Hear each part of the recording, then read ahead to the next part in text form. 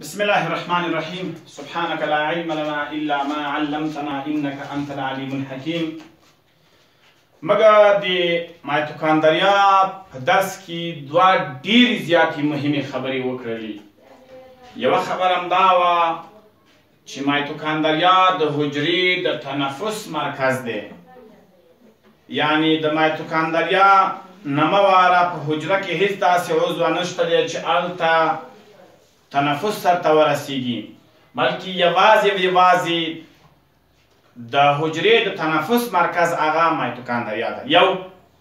دوهمه خبره هم دا وکړله چې مایتوکاندریا د حجري لپاره نوي فیصده انرژي تولیدوي نو نوي فیصده انرژي او د حجري د اکسیجن مرکز دا دواړه خبرې به موږ دلته په ثبوت باندې رسو تاسو توجه غواړم محصلینو مونږه هوا تعریفو او وایو چې هوا د غازاتو یو مخلوط دی هوا د غازاتو یو مخلوط دی چې تقریباً یوویشت فیصده په هوا کې اکسیجن دی، اته اویا فیصده په هوا کې نایتروجن دی، یو فیصد په هوا کې نجیبه غازات دي همدارنګه موږ وایو چې صفر اشاریه صفر درې فیصده په هوا کې کاربن ډای اکساید دی او د نجیبه غازاتو سره د اوبو بړاسونه هم شته متوجه شئ موږ څه وایو موږ وایو دا یو تنفسي سیستم دی او دا تنفسي سیستم داسې په برانشونو باندې تقسیم شوی داسې په برانشونو باندې او بل اخیره موږ وایو چې یو سیستم رامنځته شوی دی چې دې ته موږ ریسپایریشن سیستم یا ریسپټوري سیستم موږ ورته وایو متوجه شئ کله چې موږ دا تراخیا ګورو او دلته بیا دا برانشونه ګورو دا برانشونه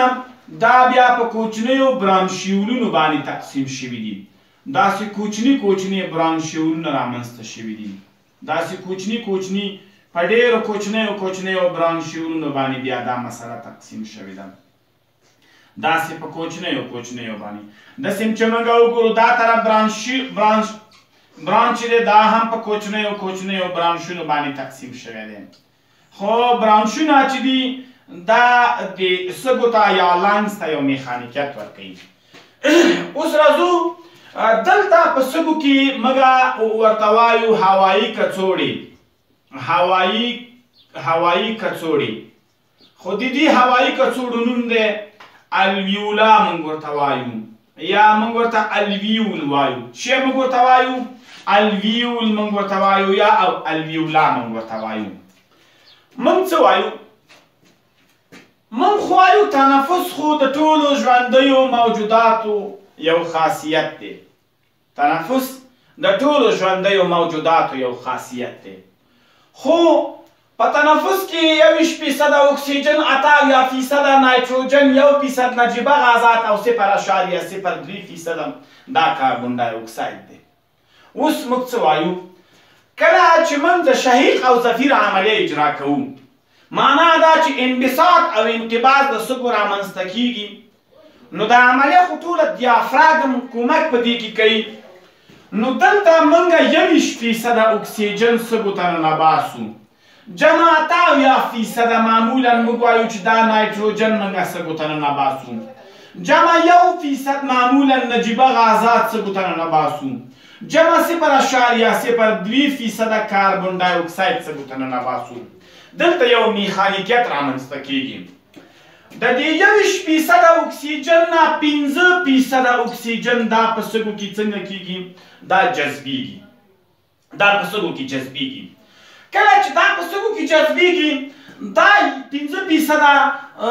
دا د اکسیجن دا د وینې د هیموګلوبین سره یو ځای کیږي. او دا د اوکسي هیمو ګلوبین په نامه باندې یو غیر ثابت مرکب منځ ته راوړي یو غیر ثابت مرکب رامنځته کوي کله چې دا په سږو کې یو غیر ثابت مرکب رامنځته کی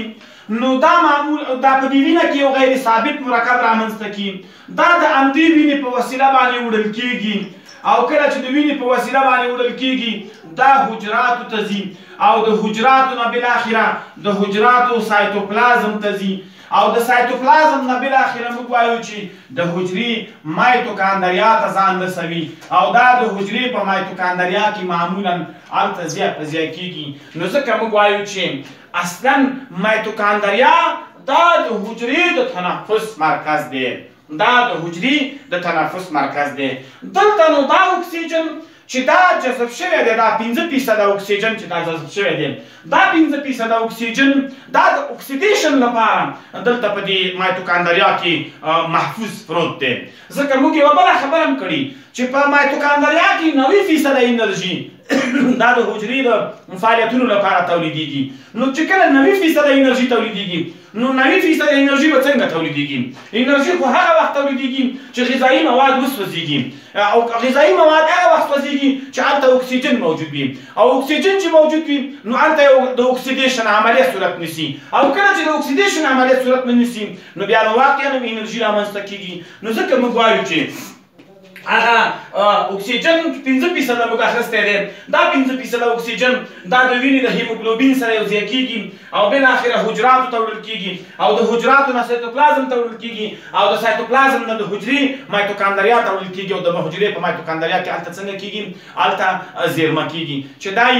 یو میخانیکیت چې دا میخانیکیت معمولا موږ وایو دا ځان سره یاد وساتئ چې د حجرې په سایتوپلازم کې په مایتوکاندریا کې یو خاصیت دا دی چې مایتوکاندریا د حجرې د تنفس مرکز دی، یعنې معنا دا چې هلته به اکسیجن زیرمه کېږي، بل په هېڅ ځای کې اکسیجن نه زیرمه کېږي، یوازې د حجرې په مایتوکاندریا کې اکسیجن زیرمه کېږي. نو قدرمنو محصلینو دا ساحه له ځان سره، دا خبره له ځان سره وساتئ چې د انسان په بدن کې یوازې له یوویشت فیصدو نه پنځه فیصده اکسیجن جذبیږي نور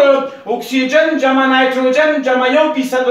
د نجیبه غازاتو خو څنګه چې کاربن ډای اکساید صفر اعشاریه صفر درې فیصده دی